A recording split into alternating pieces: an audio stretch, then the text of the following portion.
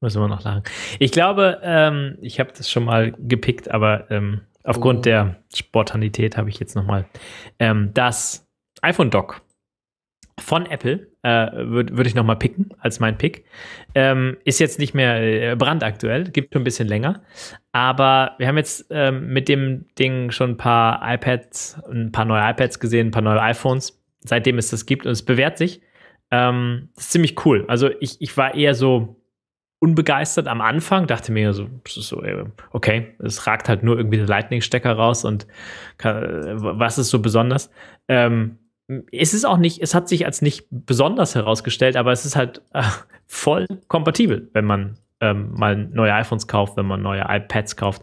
Äh, nur das große 12, 12, 13 Zoll ähm, iPad Pro bekomme ich nicht rein. Alle anderen iPads passen da auch rein. Muss ein bisschen bei dem 9,7 Zoll iPad Pro aufpassen, dass es nicht nach hinten weg ähm, kippt oder so, aber alle iPhones passen da rein. Und es ist ein bisschen teurer. Es gibt es dafür in der Farbe, in der du dein iPhone auch gekauft hast. Äh, und es hat einen Klinkenanschluss, wem sowas wichtig ist. Ähm, kann man erwähnen. Ähm, und ich weiß nicht, ich benutze das jetzt schon ein paar Jahre und also, weil es ist wirklich nicht mehr so neu.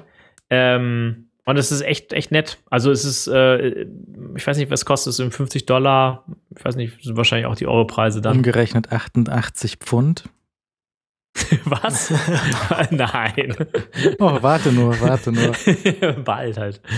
Ähm, ja, also es ist, es ist ein simples, äh, sehr simples Dock, aber diese, die, dieser simple Aufbau macht es halt gerade so wertvoll, weil du halt keine fancy äh, hohen Kanten hast, in dem halt das nächste iPhone-Modell halt nicht mehr reinpasst. Also da, ich habe da Plus-Modelle drin, ich habe da Non-Plus-Modelle drin. Das, das, wollte ich gerade fragen. Wie performt denn das Plus da drin, wenn das, du noch ein bisschen drauf rumdrückst?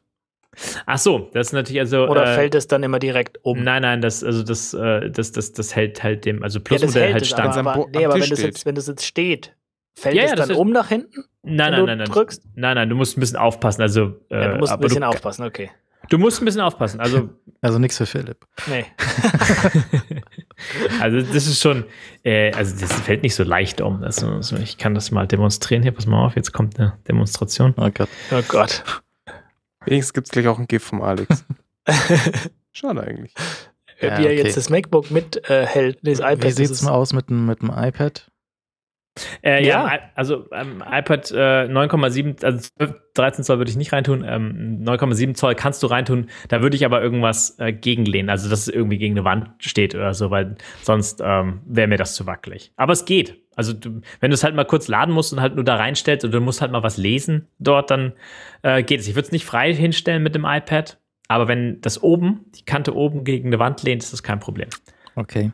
Genau. Ähm, kannst du es rausheben, ohne dass es mitkommt? Ähm, nee, kannst du nicht. Ähm, also du kannst. äh, äh, warte mal, ich schränke das gleich kurz ein. Äh, wenn du es hochhebst, einfach so, dann hebt es sich mit hoch. Diese Gummisohle, die unten dran ist, ähm, die ist sehr rutschfest. Also es verrutscht dir auf keinen Fall auf dem Tisch. Also so, wenn du eine Glasplatte hast oder eine, eine Holzplatte, das verrutscht keinen Zentimeter.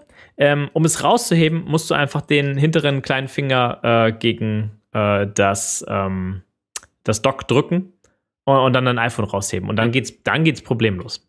Also okay. das ist, das ist kein Problem. Aber, du, aber das Gewicht alleine vom iPhone zieht das Lightning-Kabel jetzt nicht raus. Diesen Lightning-Stecker. Das heißt, wenn du musst ein bisschen Gegendruck aufbauen und dann funktioniert es ganz gut. Also du kannst es, ja, du kannst, um das kurz zu machen, du kannst es mit einer Hand aus dem Dock nehmen. Okay. Gut. Ja. Äh, ja, also Dock, es ist immer so, so, weiß ich auch nicht, wo ich es hinstellen soll, weil das dann auch oft irgendwie im Weg mhm. vom Monitor ist und so. Äh, beim iMac hat es irgendwie noch drunter gepasst, aber jetzt den 4K, den habe ich irgendwie so komisch schräg mir äh, hingeschoben. Also ja. ja, muss man mal, muss man sich auch vorher überlegen, wo man es auf dem Arbeitsplatz vielleicht hinstellen möchte.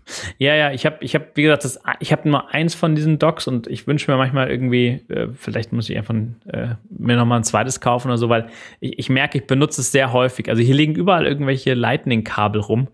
Äh, und trotzdem landet das iPhone dann doch im Dock immer wieder, weil das einfach sehr leicht ein, einzustecken ist. Also, weil du halt mit einer Hand einstecken kannst und beim so ein Lightning-Kabel musst du halt immer festhalten. Und deswegen, äh, du brauchst auf jeden Fall irgendwie einen Platz, um es aufzustellen. Und ähm, ich habe auch zu Hause diese ganzen Dock-Geschichten nicht. Ähm, und da stecke ich halt immer Kabel ein. Also es muss halt auf den Platz schon passen, das stimmt schon.